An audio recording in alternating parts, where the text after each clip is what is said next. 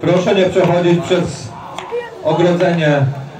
Proszę o kibiców drużyny przyjezdnej o nieprzechodzenie przez ogrodzenie i o nieużywanie środków pirotechnicznych na stadionie.